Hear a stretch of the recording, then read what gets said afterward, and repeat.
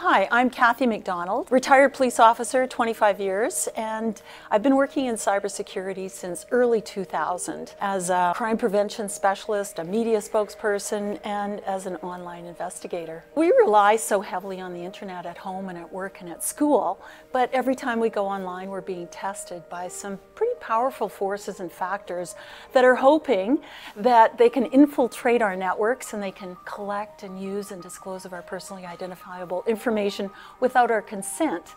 And when they do this, they can wreak havoc in our lives. So in my presentations, I really like to talk about how important it is to protect our personal information because we have vulnerabilities and we have weaknesses.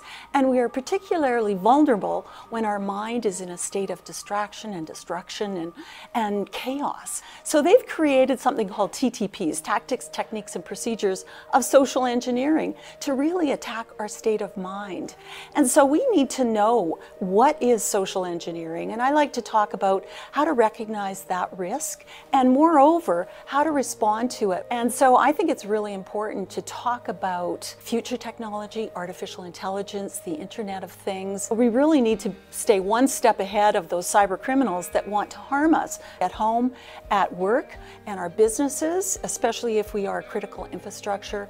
And of course, my presentations, they are very helpful for anyone or any audience that is interested in learning more about being defensive, being proactive, and learning uh, some practical tips. My book is titled Cybercrime Awareness, Prevention, and Response, and it's a great resource for anybody that's interested in learning more about cybersecurity.